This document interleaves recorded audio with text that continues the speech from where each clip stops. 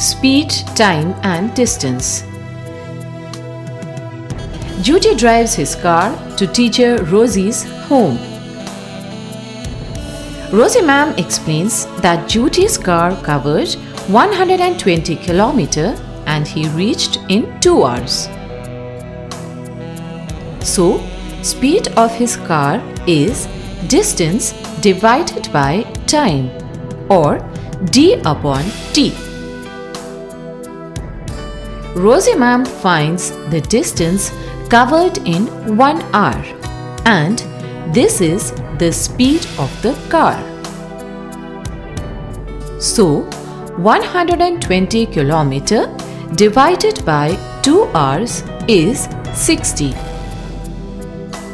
The speed of Judy's car is 60 km per hour. Good calculation, ma'am.